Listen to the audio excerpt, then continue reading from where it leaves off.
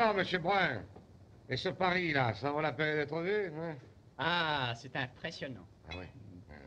Et vous êtes beaucoup promené là-bas à Paris? Chaque soir, j'allais faner sur les boulevards. Non. Dites, vous avez dû rencontrer Landolfi.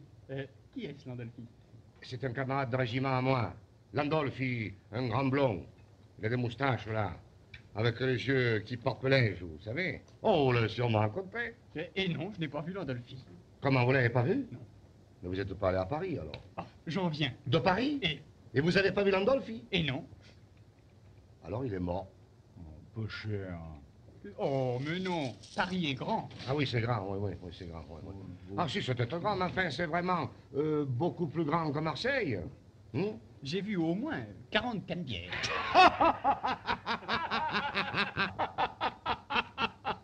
Voyage qui vous a fatigué, monsieur. Alors ça, après, on dira que c'est nous, les Marseillais, qui exagérons. Quelle mentalité, bon Dieu. 40 canadiens. Ah, vous êtes bien lyonnais, vous savez. Oh, coquine des soirs, milieu de vie. Bon, ouais.